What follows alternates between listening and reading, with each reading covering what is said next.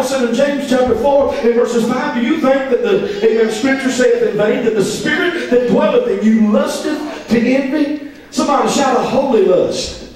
The Holy Spirit in you and in me as believers, uh, he lusteth to envy. That means he's jealous. Yes, he is. He don't want to share us with the world. He wants us, all of us. He'll be second to none. That's why 2 Corinthians 3.17 said, where the Spirit of the Lord is, there's liberty. Somebody shout where the Spirit of the Lord is. Lord is the name of God Adonai. Means my master, my owner, the one that has all of me. Wherever the Holy Ghost is allowed to be my Lord at, and He's got all of me, that's when liberty comes. That's when freedom manifests. Amen. Here we are on November the 1st.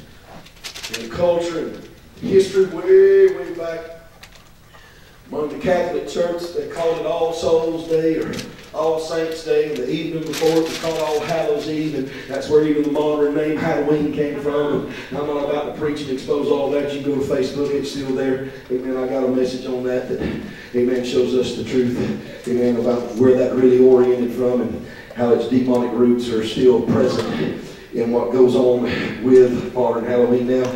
Amen. But today was called All Hallows Eve or All Souls Day, or, or not All Hallows Eve, that was yesterday, but it was called All Saints Day. And they memorized, or not memorized, memorialized, so to speak, those that, who had died in the Lord and who had preached the gospel, even some martyrs. And I guess there's nothing wrong with that, as long as you don't do like some of the Catholic Church began to do at the time they began to pray to the saints. Uh, it's all right to memorialize the cloud of witness that's gone on before us, that preach the gospel, that walk with God faithful in the earth. Amen. And lay down their life for their faith in God. That's good. But when you start praying to St. Francis and St. Joseph and, and Mary and all that, come on, somebody shout, that's witchcraft. That's necromancy. And Deuteronomy 18, amen, says God will not share and have among his people. It means talking with the dead. Praise God. Amen. You don't have to pray to Mary, and you shouldn't. You should pray like Mary prayed. Amen. She prayed to Jesus. Anybody hear the Holy Ghost? Ain't but one name under heaven whereby men should be saved. Acts 4 and 12. Somebody shout it's Jesus. There ain't but one name that God in heaven will answer prayer in, and that ain't Buddha, it ain't Allah, it ain't Mary, it ain't St. Joseph, or St. anybody else, and it ain't the name of some angel. Come on, somebody. It's in the name of Jesus. He said, whatever you ask in my name, I'll do it. John chapter 14, verse 14. Hallelujah. Whoever calls on the name of the Lord will be delivered. Joel 2.32. Whoever calls on the name of the Lord will be saved. Romans 10.13. Through his name shall we tread down our enemies. Psalms 44 and 5. Someone say it's through and by the name of Jesus. But it, they called it All Saints Day, and it was a day when they celebrated the dead in the Lord, the died in the Lord. Hallelujah. But I began to think about it in another sense. In 1 Corinthians 15 and 31, Paul said, I've died daily. Paul presented to us uh, that every day of his life, uh, he crucified his flesh. He died every day in prayer. He went to the cross every day in prayer. He visited that place in the Spirit. Amen. He laid down his will and took up God's will. And that's why the Spirit of God used the Apostle Paul so greatly and so mighty. He was willing to lay down his life. It was Paul that told the church, uh, amen, in Galatia, in Galatians chapter 2 and 20, he said, I'm crucified with Christ. Nevertheless, I live, but not I, but Christ lives in me. In the life I now live in the flesh, I live by the faith uh, of the Son of God that loved me. There's the cross. Uh, and died for me. There's the cross. Uh, in other words, Paul said, uh, I'm crucified with him. I'm dead uh, with him. Hallelujah. But just as he was raised from the dead and alive, I still live. But the way I live now is no longer for me or about me. The life I now live, I'm still in my flesh. I live by the faith of the Son of God who loved me and gave himself for me. In other words, Paul said, I got I have died to my will. I have died to the world. Paul said in Galatians 6 and 14, hallelujah, he said, God forbid I should glory except in the cross of Christ, whom the world is crucified unto me, and I unto the world. All Saints Day, I believe the revelation could be anew. It could be with this.